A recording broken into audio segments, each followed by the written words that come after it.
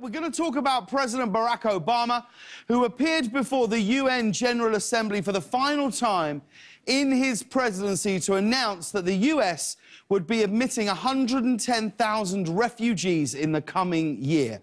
Now, the refugees will include people fleeing dangerous places like Syria, Libya, Florida.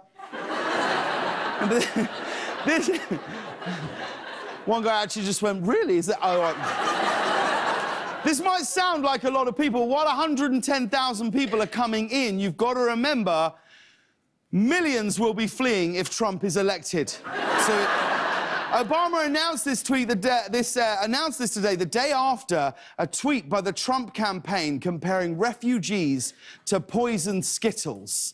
Obama was basically like, it was going to be 100,000, but after your little Skittles tweet, it's now 110,000. What's that? You want to make it 120? Mm? you little bitch. Um, Obama wasn't the only celebrity to appear at the UN General Assembly. Harry Potter star Emma Watson gave a speech about gender inequality on college campuses.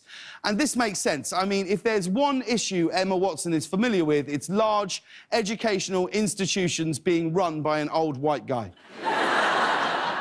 Uh, but the most amazing part of this story is that in the article about Emma's efforts to promote equality for women, the Daily Mail decided to include a huge section called Female Fashion Finder, devoted to discussing Emma's outfit and telling readers where they can, quote, get heels like Emma's. Now, Emma Watson was like, we need gender equality, and the Daily Mail was like, let us show you why. Uh, speaking of Harry Potter, did you see this? The, the house that was used as Harry's childhood home in the movies has been put up for sale. Yeah, but are you that impressed by this? Really?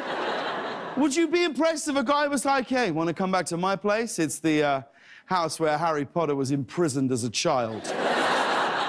What's nice is even if you're not having sex, when you're giving the tour, you can still say, this is where the magic happens. this is where the magic happens. This is where the magic... Finally, tonight, we turn to the election right here, and there was a report yesterday that former Republican President George Herbert Walker Bush has told friends that he will be voting for Hillary Clinton. Now, many people think this is totally ridiculous. You know, that a 92 year old man would make plans to do anything two months from now. Well, let's hope so. We hope we will. Uh, it may seem weird that Bush Sr. said he's voting for Hillary, but what's even weirder is he said this back when his son Jeb was still running. Makes sense, really.